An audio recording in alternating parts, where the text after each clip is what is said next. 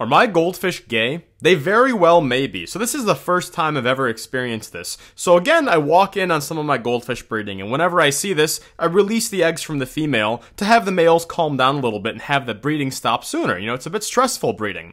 So I pick up one of them, give it a little squeeze. Up, oh, that's not the female because those are not eggs coming out, that's sperm. I pick up the second fish, give it a little squeeze. Up, oh, again, that's not a female, that's sperm coming out. So again, I pick up the third fish, give it a little squeeze, and what's that? Is that sperm again for the third time? There are no female fish in this tank, and yet there's breeding behavior going on, which typically is only triggered from a female releasing pheromones, which drives the males crazy. So for some reason, the male goldfish in this tank are being driven crazy to breed without a single female presence within the tank. I've seen males chasing males before, but that was only if there was a female in the tank releasing pheromones. But males chasing males with no female